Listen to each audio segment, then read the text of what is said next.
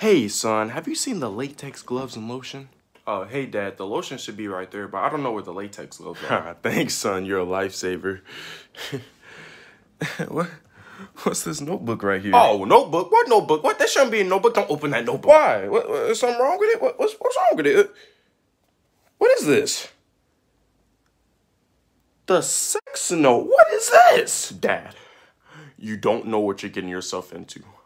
Put the sex note down and leave slowly. Why do I gotta put it down?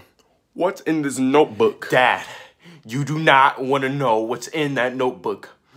Put it down and leave. No. I'm about to read the sex note. Dad, you do not want to know what's in that notebook. Whoever name is written in this book will want to have consensual sex with the owner. You been writing names? Yeah, I might have wrote a few names, but I told you not to read it. But this actually isn't real though, right? This, this notebook doesn't work, right? Yeah, it might work, it might not work, you know? You need to put it down. No!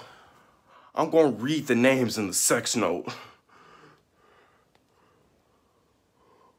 Oh, the old lady next door?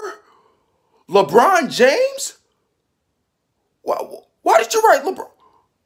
Oh no, they were just playing in town. Oh, the old lady was just in her house. Oh no, no, no, no, no, no, no, no, no, no. Oh no. Oh, you have the whole Lakers roster on here. Oh no, no, no. The, the Lakers were just playing in town. Oh my god. Dad. Put the notebook down.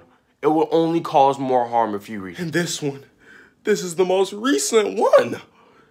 The guy from the Mr. Clean bottle we just bought Mr. Clean. Six nine, that boy flexing hard, know how to act.